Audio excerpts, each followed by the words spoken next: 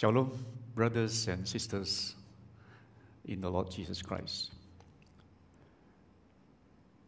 I think uh, today we have more people in the auditorium. Uh, I think maybe we are about to reach the target that we are allowed to have at this time. So this is uh, wonderful. And uh, to those who are at home, uh, hello to you all too. Okay. During this time, when the world is facing so many problems, many people will probably be feeling uh, what, what is the future going to be like? It seems that the future is very uncertain. And a lot of people could be nervous, could be troubled, could be fearful. But suppose, suppose we are very confident that the future is really in God's hands and we are in God's hands. I believe that will make a big difference in our feelings and in our thinking and also in our behavior. Isn't that true? And also at this time, because of things that are happening in the world, many people are also perhaps thinking that these are actually signs, signs of the times, that the end of the age is actually coming nearer and nearer. And the end of the age will come with the ushering in again of the Lord Jesus Christ during his second coming. So that is about the future. The message that we have today is that God, our Lord, is the Lord of the beginning and the end. And Jesus himself say that I am the Alpha and the Omega. Alpha is the first uh, alphabet, the Greek alphabet, and Omega is the last Greek alphabet. Jesus said, I am the first and the last, I am the beginning and the end. So, if we know that our God is really the God of the beginning and also the God of the end, we will be able to trust Him and we will feel secure in Him.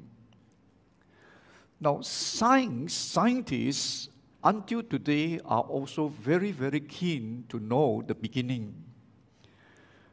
And a huge amount of money had been spent and is still being sent to send even space probes even to the edge of the universe to try to find clues about the beginning of the universe. I guess uh, some of us are aware of that, all right? Right now, scientists are hoping to find more clues about the beginning of the universe so that we will understand ourselves better, our world better, and maybe can understand the future better.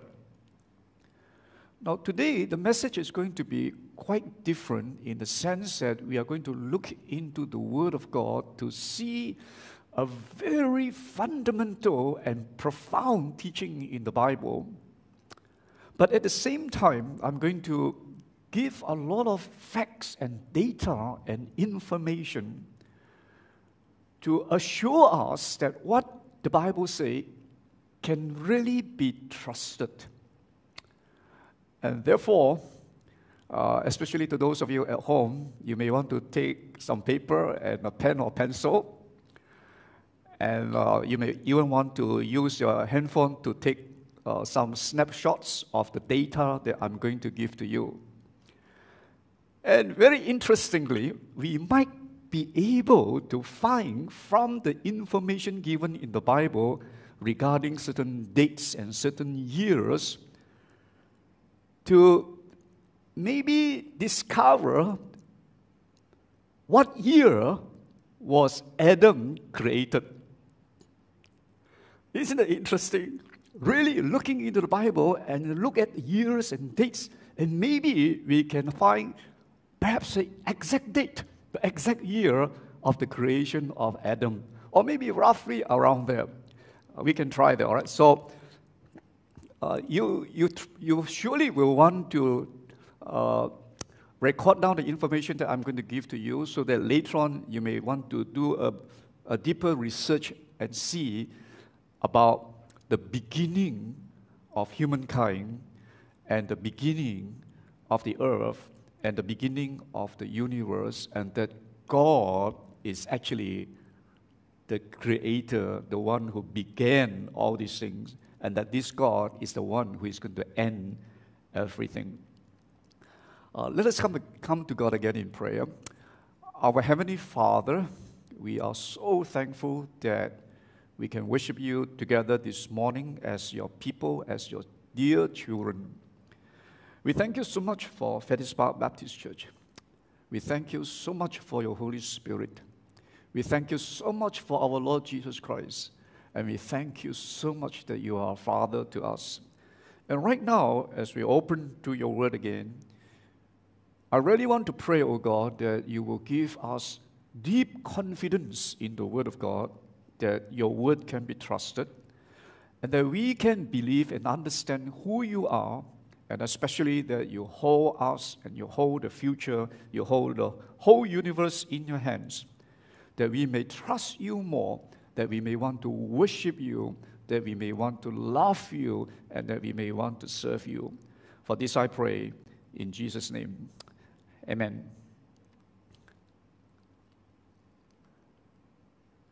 When we open the Bible, the first verse in the Bible, the first word in the Bible, it says, in the beginning, God created the heavens and the earth. What a bold statement! What a declaration!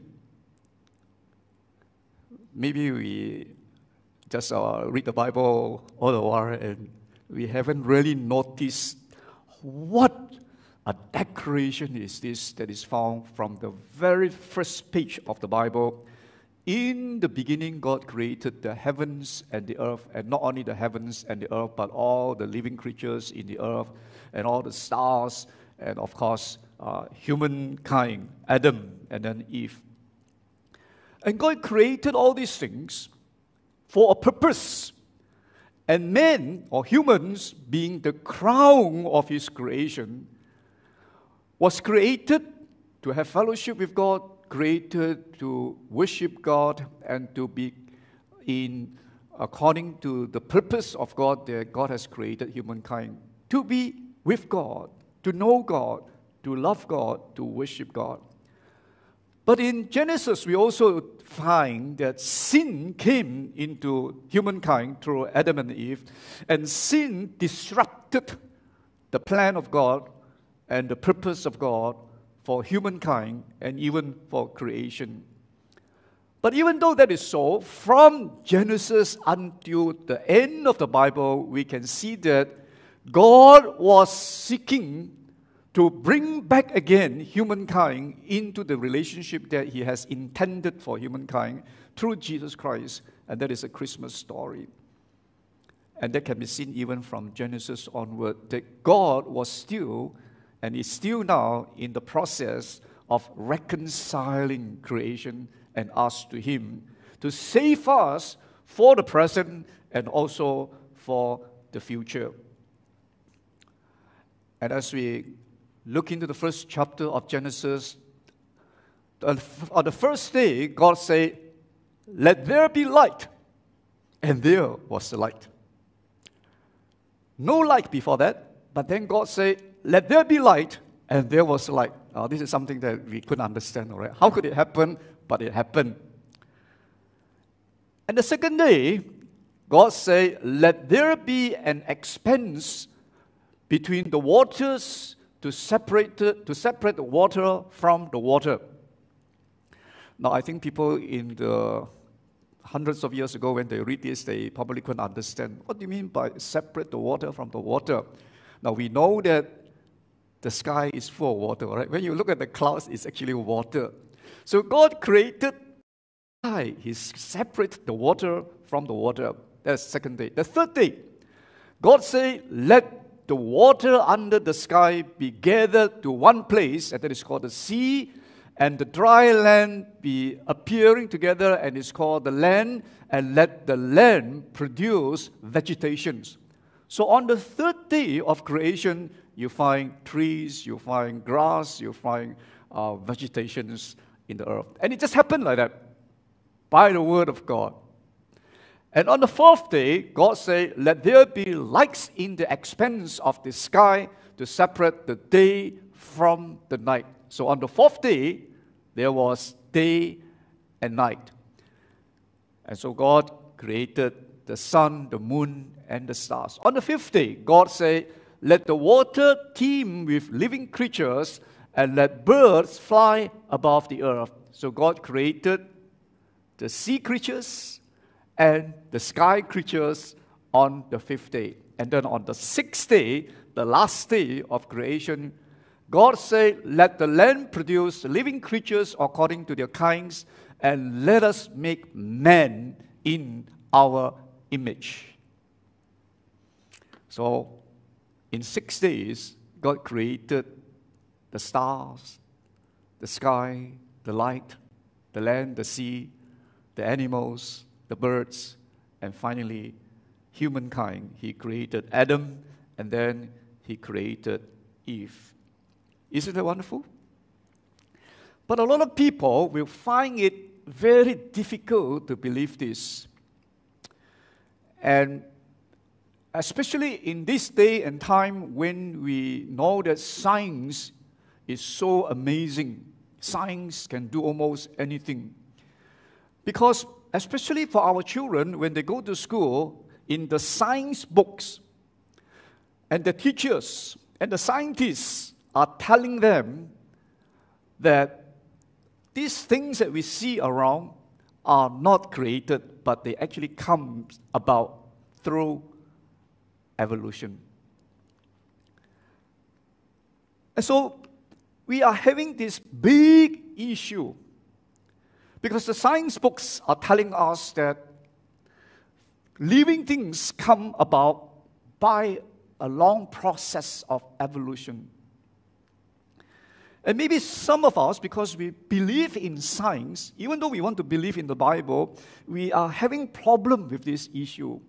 And maybe we are not very sure, we are doubtful. And even though we may want to believe it, we don't know how to tell our children that God is actually the creator. So we are having a big issue here. Maybe we can ask another question is evolution possible? Is evolution logical? What do you think?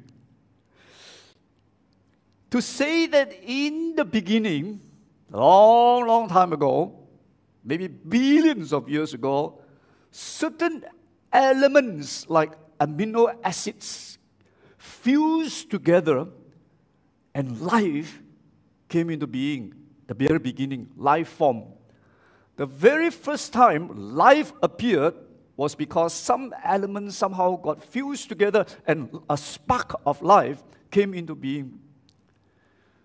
Now, if that is the case, especially in this day and time with the advancement of technology and science, if that can happen, it probably will be easy for science or scientists to put together this kind of elements and create a spark of life. But it has never been done. It cannot be done. Life cannot just come up like that from some elements that is found around.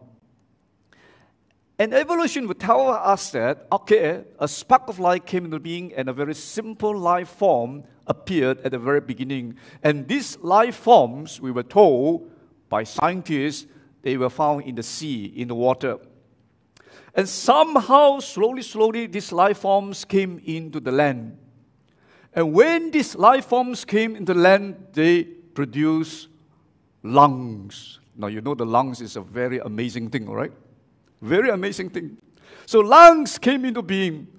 And then feet came into being into the creatures, and they can walk, they, they can crawl. And some of them evolve into wings, and they can fly. And so evolution continued to evolve, evolve, evolve, and finally, monkeys. And the monkeys, human beings. Uh, any one of you believe that you are from monkeys? That we are from monkeys, all right? Uh, evolution tells us that we are from monkeys. This is a theory. It has never been proven. And it is possible that for a species, there might be some evolution throughout the years, but to have one species evolve into another species is actually an impossibility. Now, for example, if humankind that are living in the earth, and some of them decided to go and live high up in the mountains, after a few hundred years, those who live up in the, in the mountains may find that their lungs will evolve into such a way that they can breathe easily, even though the air is very thin up in the mountain. So, this is possible. And if some humans decided that they are going to live in the desert, after hundreds of years, their skin color may change and they may evolve in such a way that they adapt themselves to the desert. So these are possible, but to say that a monkey can evolve into a human or some simple life forms can evolve into a complex life form, it takes a lot of faith to believe in that. It is much more easier to believe that God created the, hu- the humans, the life on earth, and the universe. And when we talk about the universe, the universe, with all the life forms in the earth, is a very, very complex thing, making up of many, many systems and components. Now, suppose now we are taking a bucket here, and in this bucket are 10 numbers, all right? 1, 2, 3, 4, 5, 6, 7, 8, 9, 10. There are 10 numbers here in this bucket. And I'm going to mix it all up randomly, and then I throw all these numbers into the sky or into the air and let them fall on the ground here. And then I just push them together and make them into one line of numbers. What is the chance that out of these 10 numbers, when they are lined up there, it will be 1, 2, 3, 4, 5, 6, 7, 8, 9, 10? You try that, all right? You keep on trying. What is the possibility that just 10 numbers will be able to be in an orderly manner? Would it be one in a million chance? Just 10 numbers, right? Would it be one in a million chance? If we say that, oh, there is one in a million chance that your ex girlfriend is going to come back to you, what are you saying, all right? One in a million chance. That means no chance, all right? Now, for the possibility, the probability of 10 numbers lining up all together in a line, in sequence, is 1 out of 3,628,000. Okay, it's not a million chance, all right? Is 1 out of 3,628,000. You have that one chance.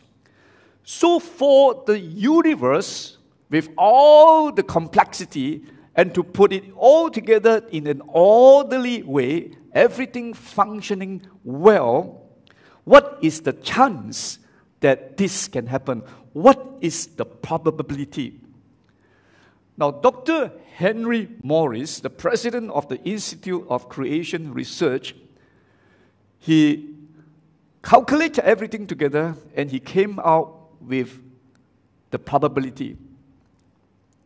Now, when I say 1 million, there is a 1, and how many zeros after the 1? 6, all right? Okay. 6 0 is 1 million. Suppose I say 1 billion, how many zeros? 9. Okay. Suppose I say 1 trillion, how many zeros? 12, right? Yeah. Now, if I say, what if there's only one of a million chance that your girlfriend will come back to you, you can say, very difficult. If I say there is only one billion of a chance, you will say, forget about it, all right? If I say there is only one trillion of a chance, you say it is impossible. What is the chance that the universe until today is like what it is today, everything functioning properly, that the earth will spin exactly around the sun at the exact degree, and that the earth will be spinning every day at exactly the right spin, and that the oxygen in the earth will be exactly the right amount, and that the water will be exactly, the, the ozone will be exactly, everything exactly. What is the chance?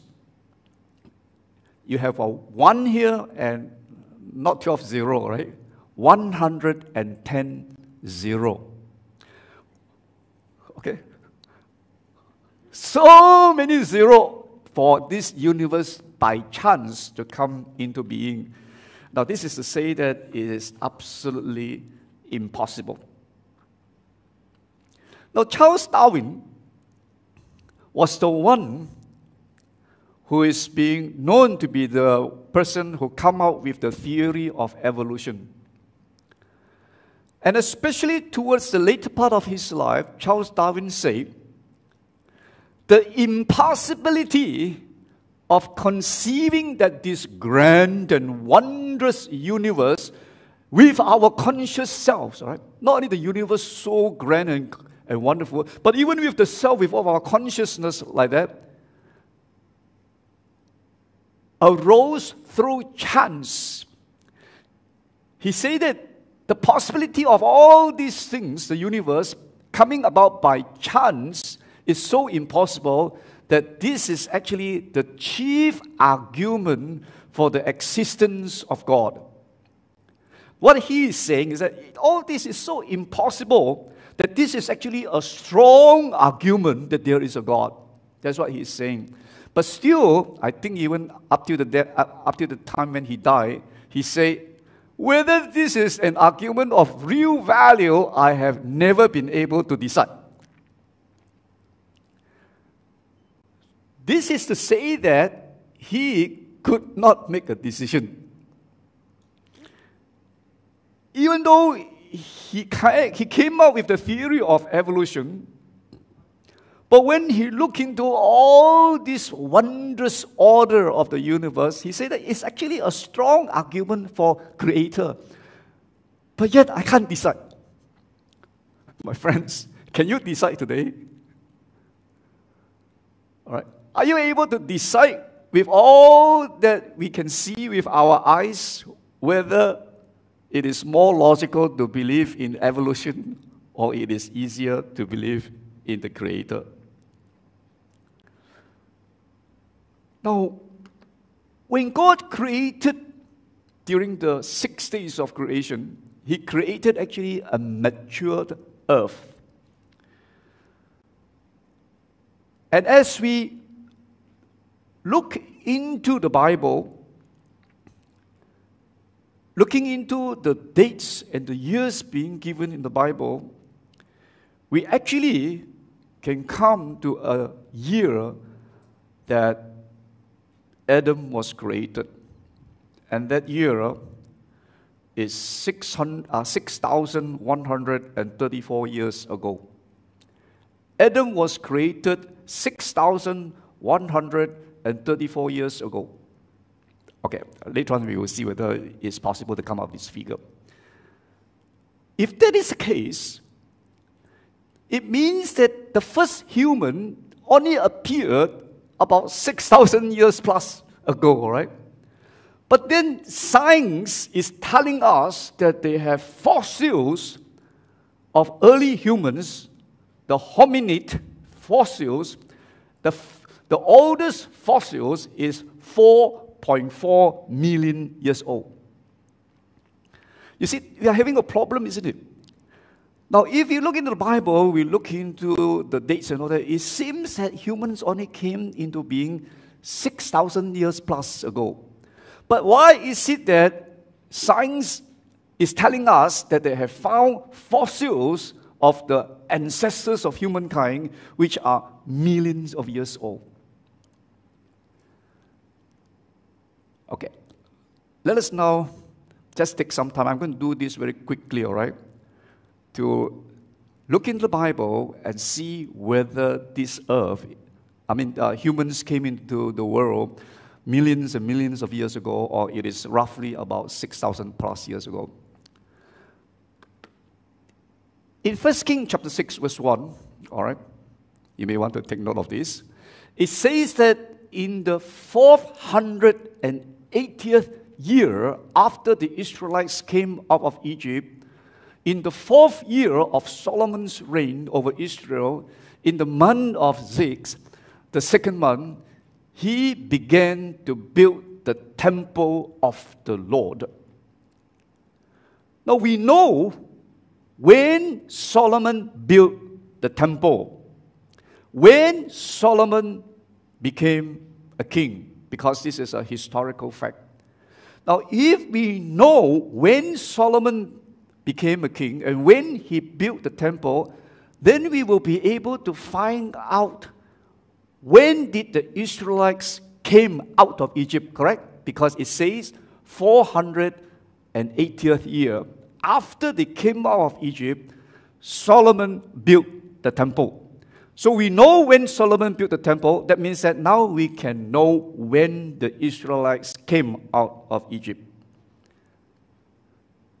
Solomon built the temple in 966 BC, and he became a king in 970 BC. If you plus 480 years to 966, you will be able to come up with a figure of 1446 BC. That is the year the Israelites came out of Egypt. Now, in Exodus chapter 12, verse 40, it says, Now the length of the time that the Israelites people living in Egypt was 430 years. Since we know when they came out, and since the Bible tells us that they were in Egypt 430 years, then we actually can calculate when, what was the year they went into Egypt, correct? 1446 BC, Israelites came out of Egypt. You add 430 to that, you will come up with the year 1876 BC. The Israelites went into Egypt. Now, in Genesis chapter 47, verse 9, it says, Jacob said to Pharaoh, The years of my pilgrimage are a hundred and thirty. So Jacob was telling Pharaoh when he went into Egypt, all right, when he went into Egypt, he told Pharaoh that I am 130 years old. If that is the case, since we know when Jacob went into Egypt, when the Israelites went into Egypt, now Jacob said that at that time he was 130 years old. That means that we know now when was Jacob born. Correct? So 1876 BC was when the Israelites went into Egypt. You plus 130, you get 2006 BC, and that was the year Jacob was born. Okay. Now, when you look into Genesis, you see that Adam lived 130 years and then Seth was born. And when Seth lived 100 and five years, Enos was born. And when Enos lived 90 years, Kenan, was born. And you go on and go on and on until Isaac. When Isaac was 60 years old, Rebekah gave birth to twins, Esau and Jacob. So if you calculate all these years, okay, uh, Adam was this old, and then this uh, person was born, uh, this person that all this person was. You calculate the years of this line until Jacob, you will be able to find that when Jacob was born, he was born 2,108 years after Adam was created. Since we know that the time of Adam to Jacob was 2,108 years, and we know when Jacob was born, you add this together and you will find out that Adam was created in 4114 BC. This year is 2020 AD. 2020 plus 4114 is equal to 6134. And that is the number of years between now and Adam. Okay, uh, I, might, I might have miscalculated something because, uh, but anyway, uh, it is roughly like that, all right? So we know that Adam was created not millions and millions of years ago. So now again, we are having problem, right? We are having problem with believing the Bible or believing science. Okay. Now, how do scientists determine whether this fossil is 1,000 years old or 1 million years old? How do they determine whether a rock is a million years old or a billion years of old? They use carbon 14 and other radiometric dating to try to find out how old is this bone or how old is this, uh, uh, this rock. And so they use these elements like carbon 14, potassium 40, argon 40, uranium 238, and lead 206. What they do is they look at what they have now and they measure the amount of that element in that stone or in that bone. And when they see that, oh, this is only a little bit left, then they will say that, well, you know, this bone is very, very old. But if there is still a lot of this left, that means that this bone or this rock is very, very new, not that old. So that is how they measure. But this is very, very inaccurate. If you are if you are real to yourself, if you are sincere in your observations, scientists will have to conclude that this kind of measurement is very inaccurate. And I, I don't understand all these things, but if you look into certain articles being written, there are a lot of proof to see that this is a very inaccurate kind of measurement. And then there are many evidences being shown that certain rocks that were created not too long ago by the explosion of a volcano uh, maybe just 10 years ago or 20 years ago, when they measured this rock, which is very new, they found out that this rock is actually millions and millions of years old. So there has been a lot of error in this kind of measurement. And also, it, it takes the assumption that there is a belief that, okay, so this rock only a little bit of this element left, that means that it has been a long, long time. But this take into consideration that the diminishing on a constant way throughout all the years. And there is proof that certain things that have happened that has caused the elements to disappear faster or slower. So this measurement is absolutely inaccurate. Another thing we need to take in bear in mind is that when God created the earth, He created the matured earth. Now, what does it mean? Is that on the sixth day, when Adam was created, on the sixth day, when Adam was created, if you take Adam and examine his bone, his bone is not one day old bone. It's not the bone of a baby.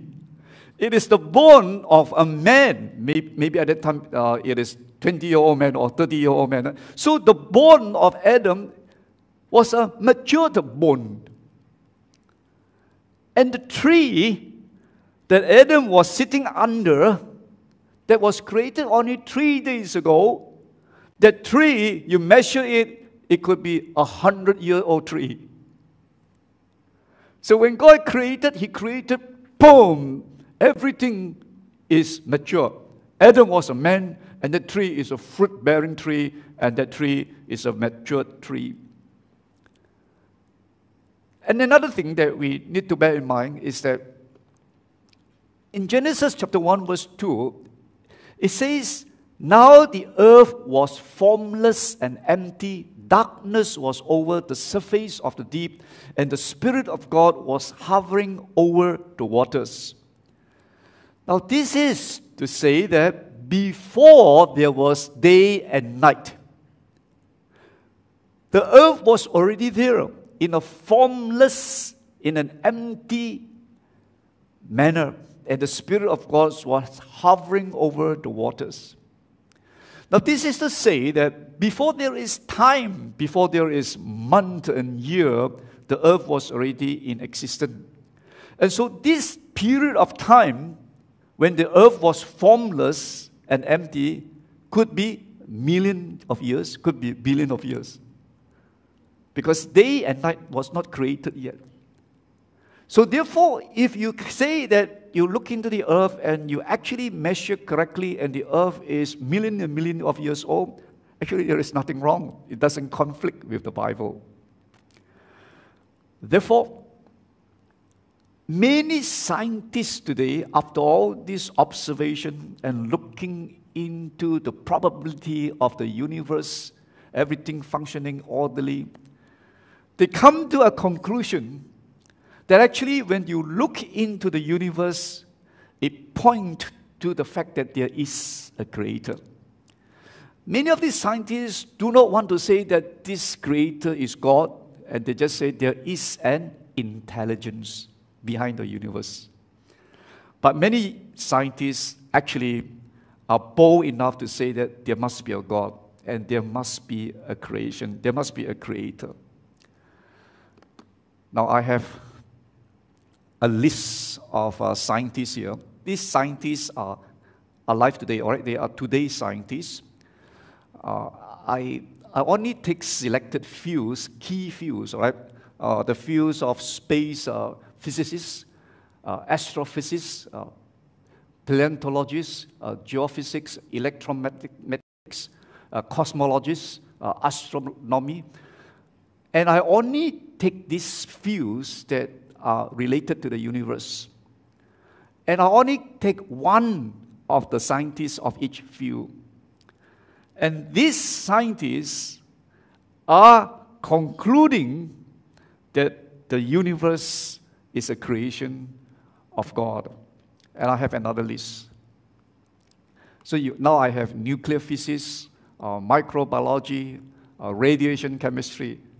So these scientists are there today, living today, and they are declaring that they believe in the Creator God. My friend, would you believe in God today? Will you believe what the Bible says? That in the beginning God created the heavens and the earth, and that life came from God. And Psalm 19, verse 1 and 2 says that the heavens are declaring the glory of God, the skies proclaim the work of his hands, and day after day they pour forth speech. Night after night, they display knowledge. This is to say that the creation of God is telling us that it cannot be there just by chance. They are there because of God. There is a creator. When we look at the stars, when we look at ourselves, when we look at nature, let us be able to see that nature is telling us, and not just telling us, but declaring to us the glory of God, that there is a creator, that there is a God behind the universe. Will you be willing? Will you be ready to believe in this? Because if you can believe in this, if you can have confidence that this is true, then your whole life will be changed, and you will put your trust in Jesus, and you will be aligned back again into the purpose of God for the universe and for you. And we will be confident and assured of our future because this mighty Creator God is the God of the future as well as the present and of the past. I would like to encourage all of us here to declare every day two things. All right, I'm coming to the close of the message now. After listening to all this, what the Bible has to say about God and about creation, and backing it up with uh, many information, let us be able to come to this conclusion of two things and let us declare these two things every day for 62 days. Why I'm saying 62 days? Because it takes 62 days for us to form a habit. Now, if you do 30 days and then you miss out a few days, then you have to start all over again. I would like to encourage us all, let us do it for 62 days from today onward to declare these two things every day, maybe in the morning. First of all, to declare that our God is the mighty creator God. Every day now, for 62 days, declare God, you are the mighty creator God, and you hold the future in your hands. And because you are the mighty creator God, I am going to trust you. And I'm going to worship you because God created us to worship Him. That we will adore Him, we will fellowship with Him. All right? If we declare, God, you are the mighty creator God, I will trust you and I will worship you that is going to be amazing, awesome, right? And make it into a habit. The second thing that we need to declare is that since we believe that God is a mighty creator God, who are we? We are His creation, we are His masterpieces. I am your masterpiece, wonderfully made, everything working well, orderly, not by chance, but by the hand of God. I am your masterpiece. And not only that, you have aligned me back to you through Jesus Christ, and you now have called me and you have embraced me as your son or your daughter. And because I am now your son, I'm going to love you. I'm going to love you deeply. And because now you have called me to be your son, to be joint heir with Jesus Christ, I am now in partnership with what you are doing for eternity. You have a purpose for the universe, you have a purpose for this church, and I'm now part of this church. I have a purpose in this world. Now, many of you during these last few weeks, you have been trying to discover what is your destiny, all right? You have a destiny in God's hands, you have a purpose. Because I am the masterpiece of the mighty Creator God, I am His Son, I will serve Him because I want to be aligned to His purpose. Now, I find great joy to know many of you. Even in the last week, I have seen some of you, and I, even though I have not seen, I know that many of you have really been loving God deeply, and you have been serving God passionately uh, with all the needs of certain families, of three families, loved one who has passed away, and how you give of yourself out of your love, and how you serve others because you serve God. It is so wonderful to see these things happening. And why is it happening? Because you realize that you are a son of the mighty God, you are a daughter of the mighty God, and you are his masterpiece. This is, this is just absolutely amazing if all of us here and at home, for now 62 days, you keep on declaring every day, God, you are the mighty creator God. I will trust you, I will worship you. Oh Lord, I'm your masterpiece, I'm your son. Uh, I would say I'm a son. You would say you are a daughter, all right, if you're, if you're a, a, a sister. And I will love you. Every day I say to God, I will love you and I will serve you. Now, if we keep on saying this every day for 62 days, after 62 days, I think we are going to be changed already.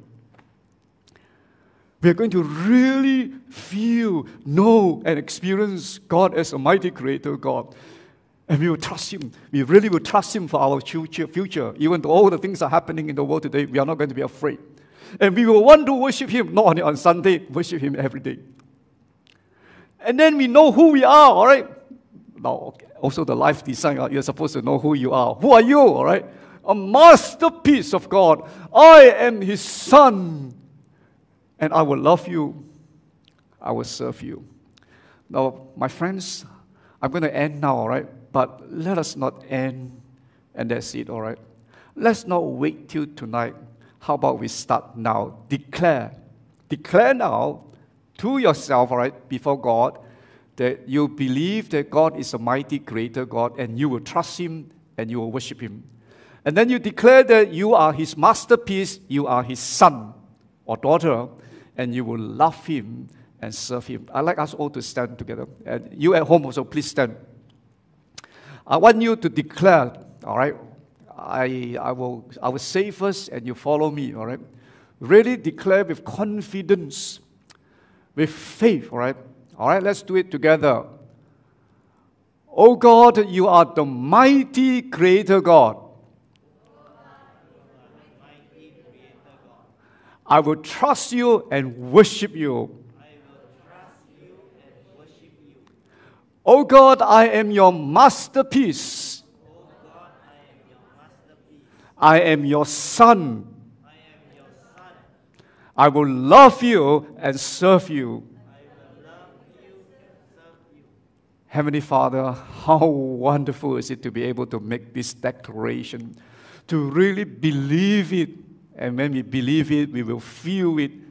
And when we believe it and feel it, we will experience it. Surely, Lord, because you are real, we are going to feel it, we are going to experience it, we are going to experience your love and your grace and your power in our lives. And I pray, Father, that you will help brothers and sisters of Fettes Park Baptist Church and all those who are listening to this message that for the next 62 days we will make this declaration every day and that in the end it will become part of us. Oh Lord, Thank you for your mercy. Thank you for your grace. And thank you for this day. And thank you for your word. In Jesus' name. Amen. God bless you all.